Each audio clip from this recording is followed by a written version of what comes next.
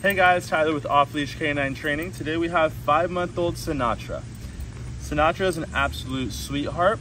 He has a ton of energy and doesn't know what to use it for. So we're gonna help him with a couple jobs to be able to take that energy and turn it into fun.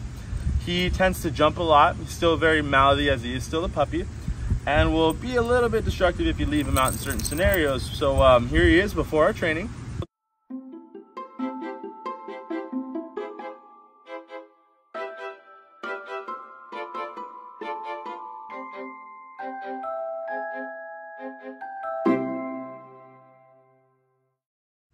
Just after two weeks.